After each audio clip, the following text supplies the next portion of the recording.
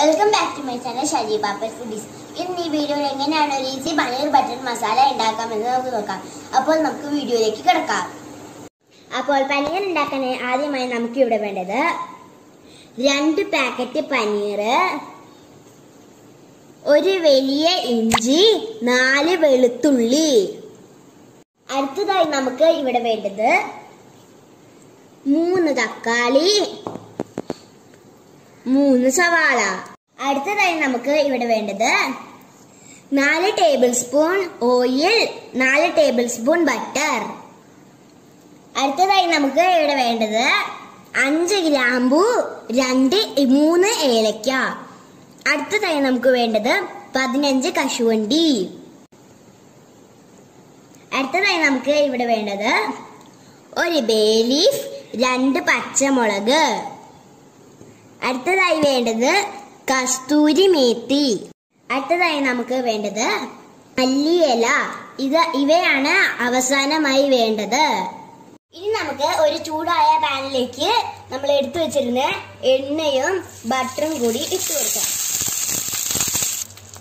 ഇനി നമ്മൾ എടുത്തു വെച്ചിരുന്ന അഞ്ച് ഗ്രാമവും മൂന്ന് ഏലക്കയും കൂടി ഇതിനകത്തേക്ക് ഇടാം. എന്നിട്ട് ഇളക്കി കൊടുക്കാം. ഇനി നമ്മൾ എടുത്തു വെച്ചിരുന്ന വെളുത്തുള്ളി സവാളയും ഇതിനകത്തേക്ക് ഇട്ട് കൊടുക്കാം.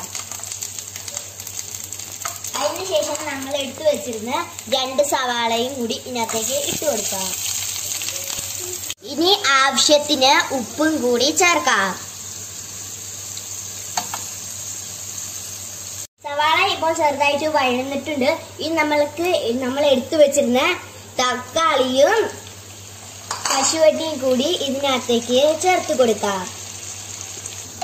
ഇനി പത്ത് മിനിറ്റ് ഇത് വേവിക്കാം. അപ്പോൾ ഇത് നന്നായി വഴന്നിട്ടുണ്ട്. ഇനി നമുക്ക് ഇത് തണുത്തതിന് ശേഷം ഒരു മിക്സിയിലേക്ക് മാറ്റാം. അപ്പോൾ നമ്മൾ ഇത് അരച്ചു വെച്ചിട്ടുണ്ട്. ഇനി നമുക്ക് ഇതുപോലത്തെ ഒരു പാത്രം എടുത്ത് അതിനകത്തേക്ക് നമ്മൾ എടുത്തു വെച്ചിരുന്ന രണ്ട് ടേബിൾ സ്പൂൺ ബട്ടറും എണ്ണയും കൂടി ഇട്ട് കൊടുക്കാം. ഇനി നമ്മൾ എടുത്തു വെച്ചിരുന്ന ബേ ലീഫും പച്ചമുളകും കൂടി ഇതിനകത്തേക്ക് ഇട്ട് കൊടുക്കാം. അടുത്തതായി ഇനി നമുക്ക് സവാള ഇതിനകത്തേക്ക് ഇട്ട് കൊടുക്കാം.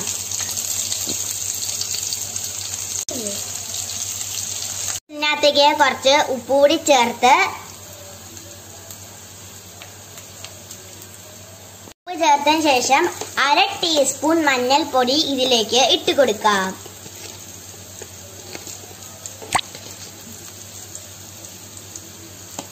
നമുക്ക് ഇതിലേക്ക് ഒരു ടീസ്പൂൺ മുളക് പൊടി ചേർത്ത് കൊടുക്കാം. ഇനി നമുക്ക് അര ടീസ്പൂൺ മല്ലിപ്പൊടി ഇതിലേക്ക് ചേർത്ത് കൊടുക്കാം. നമുക്ക് മുക്കാൽ ടീസ്പൂൺ ഇനി നമുക്ക് മുക്കാൽ ടീസ്പൂൺ ഗരം മസാല ഇട്ട് കൊടുക്കാം. ഇനി നമുക്ക് അരച്ചു വെച്ച പേസ്റ്റ് ഇതിനകത്തേക്ക് ചേർക്കാം. ഇനി ഒരു കപ്പ് വെള്ളം ഒഴിച്ച് അഞ്ച് മിനിറ്റ് ഇത് വേവിക്കാം.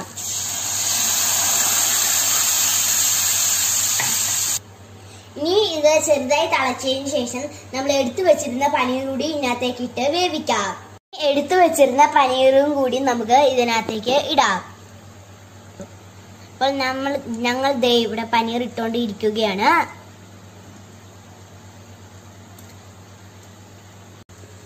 ഇനി നമുക്ക് ഇത് ഇളക്കി കൊടുക്കാം.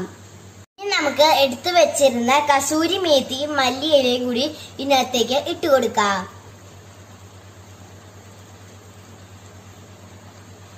അപ്പോൾ നമ്മുടെ പനീർ ഇവിടെ റെഡി ആയിട്ടുണ്ട്. ഇനി നമുക്ക് ഇതൊരു പാത്രത്തിലേക്ക് മാറ്റാം. അപ്പോൾ നമ്മുടെ പനീർ ബട്ടർ മസാല ഇവിടെ റെഡി ആയിട്ടുണ്ട്. ഇനി നമുക്ക് ഇത് ടേസ്റ്റ് നോക്കാം. അപ്പോൾ നമുക്ക് ഇത് ടേസ്റ്റ് നോക്കാം.